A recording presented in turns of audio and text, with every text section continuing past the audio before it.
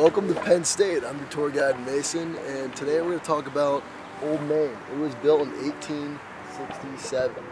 Do you really care when it was built? Do you really care about when any of the buildings here were built? Do you really care about the majors, the school here? No. We're talking about what Penn State actually means as a student, from a student's perspective, what you, what kids are actually doing here, why you want to go here. And today, we're doing the student tour, the tour my way, the tour that you need to watch before coming to school. Let's go number one thing, if you're just coming to school just to have, like, only to have fun, don't do it.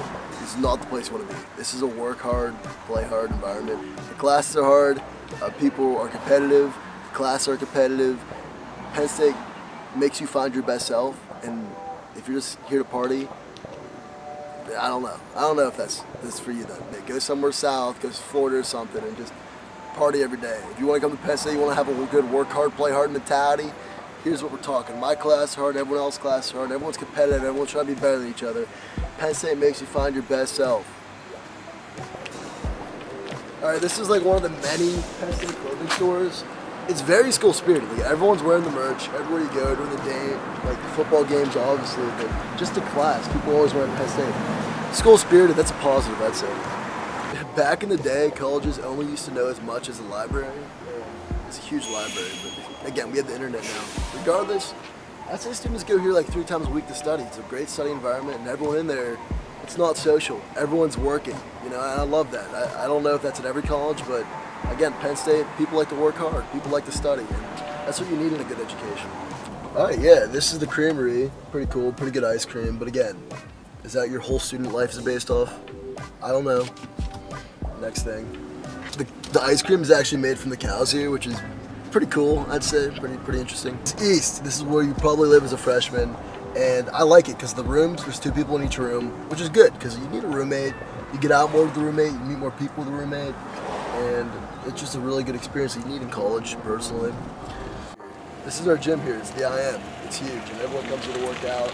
Great social environment, but you also want to play some badminton, some basketball, it is everything. And um, honestly, really good. And hoping East is right there, so as a freshman you live right there. You have the gym right here. It's it's easy to go back and forth. They have a smoothie bar in there, and it's, it's pretty fun. Whenever you're bored, I am. That's what you do. This here, third biggest stadium in probably the world. And uh, like it's electric. We have home games, obviously, and everyone comes out for it. Everyone's going to home game. Tailgate atmosphere is amazing. And the coolest thing about Penn State is everyone comes back. Like people, alumni that went here, students that even graduated three years ago, they're at the tailgate. Everyone, everyone comes back for the games. It's so excited for the fall. Everyone is so excited for football games because our school is a football school. If you like it or not, it's a big football school. We're back at East. East dorms. It's uh, small rooms. You and your roommate. The bathroom's either a community bathroom or a little private stalls. But either way, the dining hall is definitely the college experience. You only get your first year here at Penn State. Some colleges make you live in the dorms a couple years. Penn State just one year, you're living downtown. Either way, my number one tip, go to the dining hall every time, like by yourself, and sit down with a new group of people, or you and your friends sit down with a whole new group of people. And the whole goal of like being in college in person is meeting people. Meet as many people as you possibly can. And that's how you get the true college experience out of everything else because you're sitting in your dorm, we're ordering DoorDash to your door at your dorm. You're not really meeting anybody, so go out, meet as many people, especially when you're this tightly packed together up in East. Great community, so college, next place. Right, this is one of the Penn State tour groups, and if you yell this, they have to yell back. We are! Let's go, baby!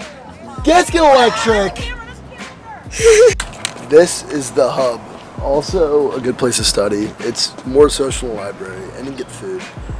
I really like it because especially when it's sunny out. There's hub lawn. It's big grass here. You probably can't see it. But either way, people lay out there, play frisbee.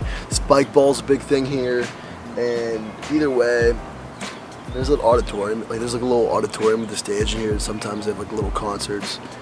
It's just a cool place. It's like the center of campus. A lot of people walking through here, even if they're not stopping to get food. And good place to be. Great place to be. Next place. Let's start. Let's talk about some party scenes here. You know, Penn State obviously parties. This is a frat house. You know, they all like look cool. Goldilocks and Three Bears a little bit. Can I see it? Either way, there's three types of parties at Penn State. if you're under 21. If you're over 21, you go to the bars. And yes, you gotta wait till you're 21 because they actually check at the door. Regardless, three types of party if you're under 21 at Penn State. Apartment parties, they're good. House parties, also good. And there's frat parties. It's like movie. I like it. It's fun. A lot of people, big speakers, lights. Same thing with the house parties too. And apartment parties are fun. Usually a pregame or something or um, any of that. But number one thing when you come here, just join join something. It doesn't have to be Greek life. It doesn't have to be a frat or sorority. It could be the ski club. It could be any club because you have because you find a group of people and you're hanging out with each other and every club has its own little get-togethers or parties, say the less. So join something. Even Thon has its parties. The Thon groups, Thon organizations have their own parties. Just join anything when you come here. Find a group of people. Go to the dining hall by yourself. Find someone to sit down next to you. Make friends. Meet people. And again, join something where you're having fun. How where your social calendar is overbooked because that's what you want to do in college. Be doing everything you can because you only get four years of it. And after that, on to the next.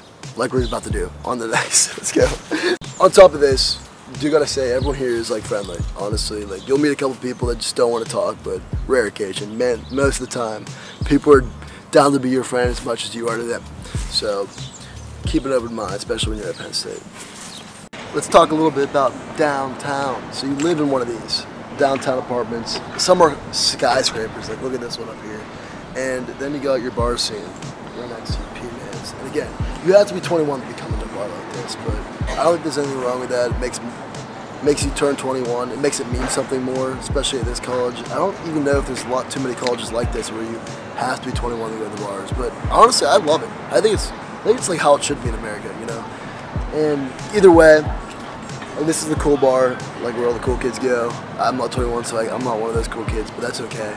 Either way, everyone after their first year, pretty much, I'd say 95% of people I know live downtown, and you can do whatever you want. You, you sign a lease with your friends and literally do whatever you want. It's, it's the best. And you could go leases from 1,300 to 700. We're looking at two buildings right here, depending on how big your area wants to be, how many people you live with hey, the, the, amount you pay varies, but at the same time, what doesn't vary is that you'll have a good time living in downtown State College. Downtown.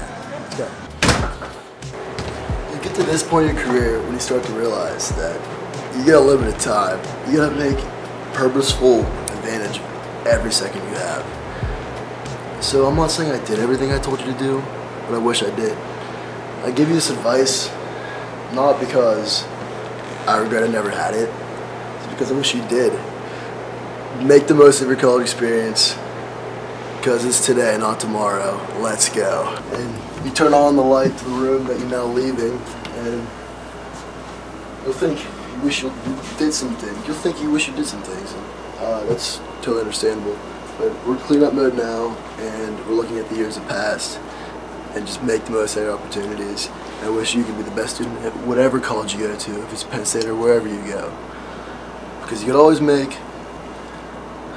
a big school small, but you can't always make a small school big. At Penn State, it's a big school and you can make it as small as you want. You meet the right people, especially if you go to a school this big. I like to leave it at that. Your decision is yours. All right. All right.